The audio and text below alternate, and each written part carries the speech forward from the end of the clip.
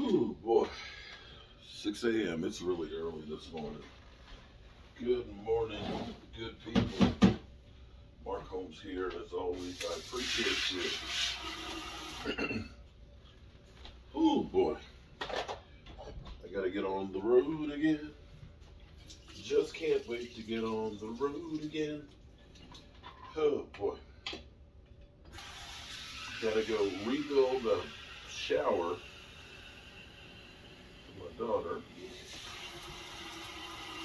So I'll be away from here for the next uh, two nights.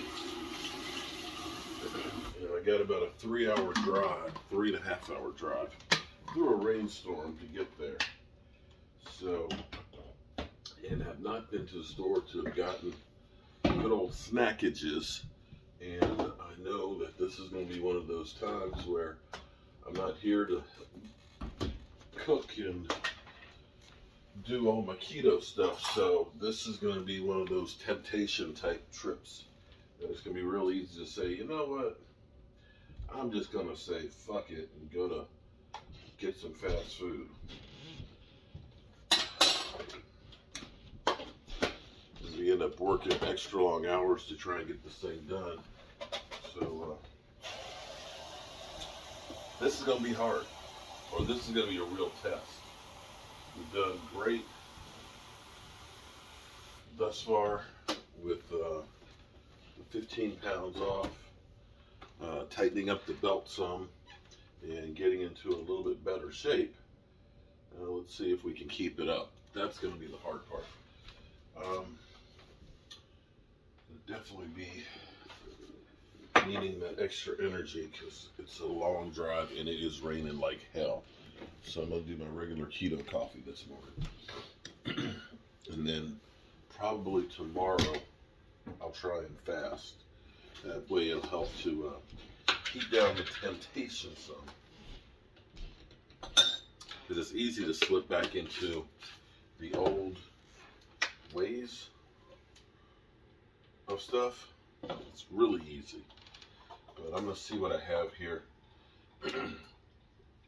it just seems like there just has not been enough time to do everything. Last night was the first dinner that I've cooked since uh, Monday because uh, with Simba passing, that was uh, we had the chili and hot dogs, and then the next day we went to Chipotle because we had to go down the road to take care of some rental properties. And then last night we cooked the uh, shrimp. The shrimp are pretty good. Still not quite as good as the regular flour and breadcrumbs, but they were actually pretty good for um, air fried. Um, the funny thing about using the air fryer was it seemed like, especially with the fish, I think the fish is better than the shrimp in there. And I think it's because you got more of the fish and the shrimp are so small. You get more intensity of the pork skins and the almond flour on the shrimp because I think the shrimp are so small. Whereas the fish fillets, um, there's a lot more meat in there, so you don't get that overwhelming taste of the coconut, I mean the almond flour in it as much as you do the shrimp. I think you just get overwhelmed. It's just too much breading for it. So I'll work on that one. Um, I think I want to try the chicken wings that way in the air fryer, or maybe the chicken wings in the air fryer with just the skin on it and not put the baking powder. Do not put the baking powder on there where they say it makes it crispy. makes it crispy nasty is what it makes it. It makes it crispy nasty. So don't do don't do that. Don't do that. But um, yeah, it's gonna be a, a long day, interesting day. I'm gonna miss working in my workshop. I've gotten a newfound love for being creative out there now, building things, and um, it'll be without it. I still have a few projects that I need to get finished in there. In the meantime, I'm gonna try and eat plenty of salads. Try to stay away from fast food and pre-made stuff, and uh, that's all we can do. And if I slip, I slip. Thing is, just get right back up and get back to doing your thing. Um, nobody's ever going to be perfect. And there's going to be times where you fail. or you get a setback. But you only fail when you give up. So I'm not going to give up. I'm going to keep on working it, keep on trying to get it together, and uh, take it one day at a time.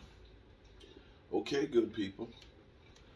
That's all I got this morning because it's too damn early. I'm going to do my morning video downstairs on the Dallas Cowboys. Um, they don't seem to be appearing to doing anything as far as signing their own free agents. I think they're looking to let most of their guys walk. And um, then I'm going to hit the road.